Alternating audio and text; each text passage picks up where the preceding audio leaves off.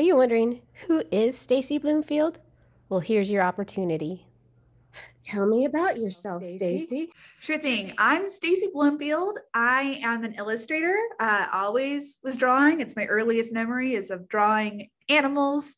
And then I actually grew up and you know, got a art degree, uh, managed a coffee shop while my husband was in graduate school, kind of put art on the sideline so I could like take care of my family and my new baby.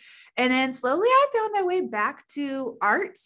And I didn't actually know 13 years ago if I'd actually be able to make a career as an artist, but here I am now. So not only do I illustrate and create my own products that I sell and wholesale those products, I also license my art to, I mean, dozens and dozens of amazing brands where essentially they rent my art for me to put on their products.